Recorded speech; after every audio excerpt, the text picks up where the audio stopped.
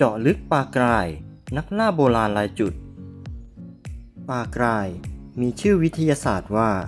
Chitala ornata ซึ่งมาจากภาษากรีกที่แปลว่า ใบมีดที่หรูหรา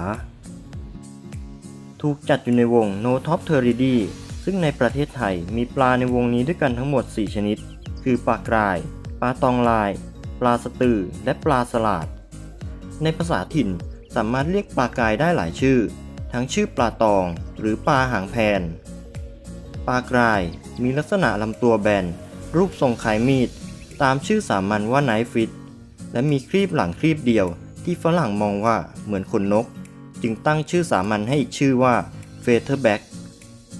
ปลากรายมีขนาดโตเต็มวัยที่ประมาณ 60 เซนติเมตร และยาวได้สูงสุดถึง 1 เมตร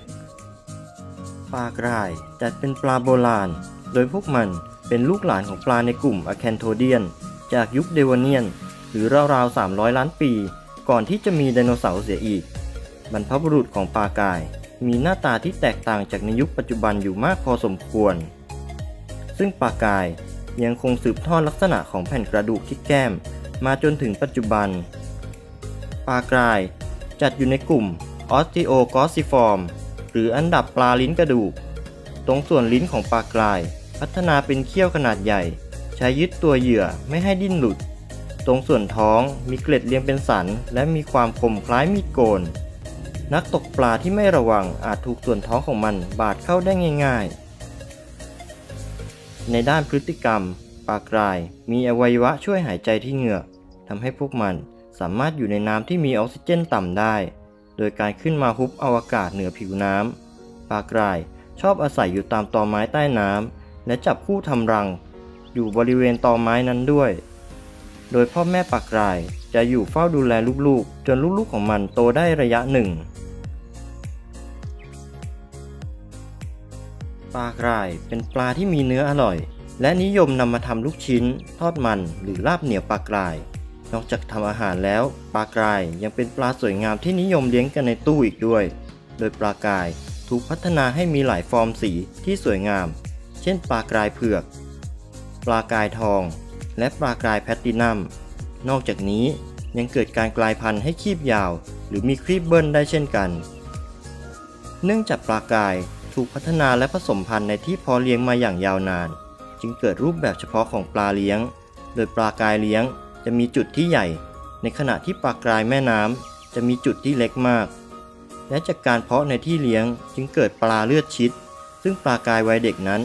มีลวดลายเป็นบ้างสีดำคล้ายลายเสือ แต่จะจางหายไปเมื่อโตขึ้น ลายสีดำวัยเด็กนี้เอง เป็นวัตถุดิบชั้นดี ที่เมื่อเกิดการเลือดชิด จะทำให้ยีนที่ควบคุม ในการทำให้ลายจางไปเมื่อปลาโตขึ้นนั้นหยุดทำงาน หรือทำงานผิดปกติไป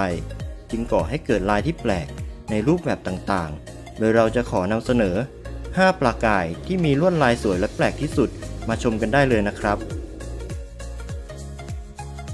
ปลากาย 9 จุด ปลากาย 9 จุด เป็นลวดลายเบสิกที่เป็นที่ต้องการ หรือนับว่าเป็นมาตรฐานของปลากายสวยงาม เนื่องจากเลข 9 เป็นเลขมงคลของไทย จึงทำให้ปลากาย 9 จุด เป็นที่นิยมอยู่ตลอดเวลา ปลากรายไม่มีจุด ปลากายไม่มีจุด เป็นปลาที่จุดจางหายไปตั้งแต่ตอนเล็กทำให้ดูเหมือนกับปลาสตือ ซึ่งคนไม่รู้อาจจะดูยากนิดหนึ่ง โดยปลากายไม่มีจุดจะต่างจากปลาสตือตรงครีบหู ที่ปลากายจะไม่มีจุดสีดำ ส่วนปลาสตือจะมีจุดที่ครีบหู และรูปทรงของหัวก็ต่างกัน เจ้าปลากายไม่มีจุดจัดเป็นรูปแบบที่หายาก และไม่ได้มีมาให้เห็นบ่อยๆ ปลากายจุดเยอะ ปลากายจุดเยอะ เป็นอีกลายที่ยอดนิยม โดยมีลายจุดที่เพิ่มขึ้นมาบริเวณลำตัว หรือบางตัวก็ลามมาบนหลัง ซึ่งแต่ละตัวก็จะมีลวดลายที่มากน้อยต่างกันไป ยิ่งตัวที่มีลายจุดเยอะก็จะมีราคาที่สูงขึ้น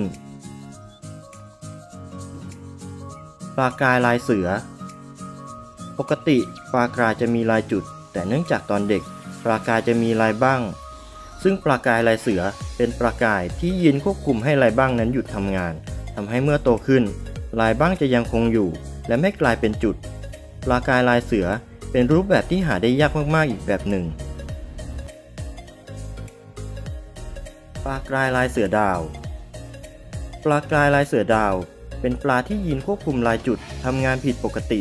ทำให้แทนที่ปลาโตขึ้นจะกลายเป็นลายจุด แต่กลับกลายเป็นลายแตกและลุกลามไปเรื่อย บางตัวอาจลุกลามไปถึงแก้ม จนดูคล้ายกับลายของเสือดาว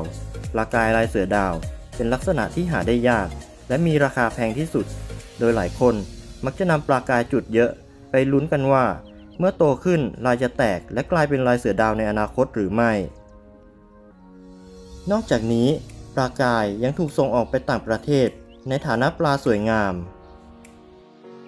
ด้วยหน้าตาที่แปลกประหลาดทำให้ปลากราย เป็นที่ต้องการของนักสะสม monster fish ชาวต่างประเทศ อย่างไรก็ตาม สูตรเดิมของผู้เลี้ยงที่ไม่มีความรับผิดชอบ ที่นำพวกมันไปปล่อยลงสู่แหล่งน้ำในธรรมชาติ ปลากรายถูกพบในฟลอริดาครั้งแรก ในปี 1990 พวกมันสามารถปรับตัวได้ดี โดยเติบโตได้ยาวมากกว่า 3 ฟุต ปลากรายออกหากินในเวลากลางคืน และสามารถจับปลาท้องถิ่นกินได้โดยง่าย โดยปลากรายจะอาศัยในส่วนที่น้ำนิ่ง และมีพืชน้ำหนาแน่น และที่ฟลอริดานี้เอง มีเพียง alligator ที่เป็นสัตว์นักล่าเพียงชนิดเดียว ที่สามารถจับปลากรายกินเป็นอาหารได้ ถึงแม้นักตกปลาจะชอบตกพวกมันเป็นปลาเกม เพราะปลากายเป็นปลาที่สู้เบ็ด และตกสนุกอีกชนิด แต่เนื่องจากปลากายมีก้างที่เยอะมากทำให้ชาวต่างชาติ ไม่รู้วิธีที่จะกินพวกมัน เมื่อตกได้ พวกเขาก็จะปล่อยมันกลับไปทำให้ปลากายยังคงรอดชีวิต และแพร่ขยายพันธุ์ต่อไป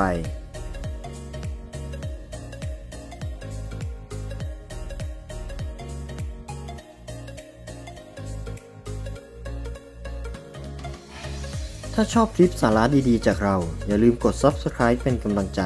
และกดกระดิ่งแจ้งเตือนคลิปใหม่ๆ ให้กันได้นะครับสำหรับคลิปนี้ สวัสดีครับ